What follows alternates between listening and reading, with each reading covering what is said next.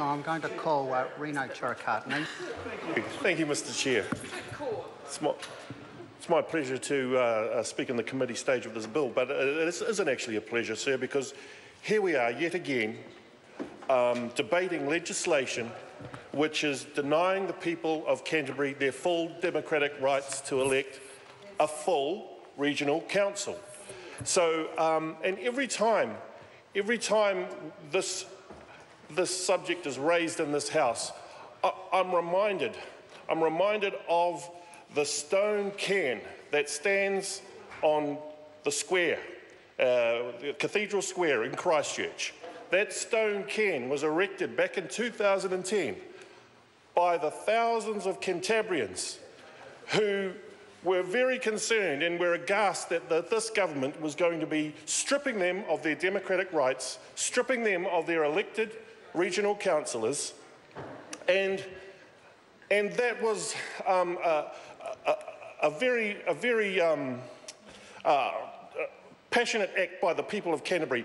The stones in that cairn, and it, it stands so high, probably as, as tall as I am, that cairn. The stones in that, in that, in that structure are, are drawn from all of the rivers, all of the rivers that are, uh, many of the rivers that are in the, um, the wider Canterbury catchment.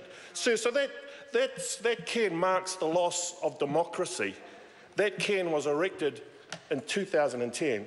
And here we are in 2016 debating more legislation which will extend, extend the stripping of the rights of Cantabrians for another three years. So from 2010 to 2019 now, the people of Canterbury are being denied their rights, their democratic rights to elect their regional councils, uh, councillors.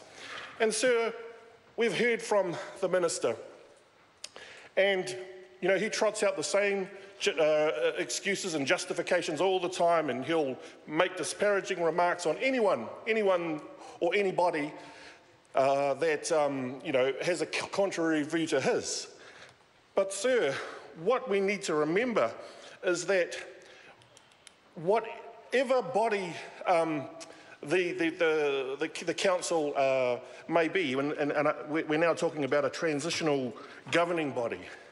Um, at the end of the day, sir, the, the water issues in Canterbury and the, in, the, in the wider Canterbury region aren't going to be fixed. They're not going to be fixed by um, this body. They're not going to be fixed by um, bodies beyond that time. Hopefully, it will be an elected body, though, that will advocate and represent, represent the people of Canterbury to ensure that there will be some better managed water, uh, in the region, but we're talking about issues, sir, that, that, um, that are very complex. Uh, and in essence, we're talking about um, not enough water, not enough water, and a lot of competing interests who want, who, who need that water. And so, sir, that's not going to be fixed overnight. And so I raise the, the, the, the hypothetical. What if, come 2019, the water zone, uh, the, the, plans are still not in place. What say this uh, transitional governing body still hasn't completed the work that they were um, charged to do.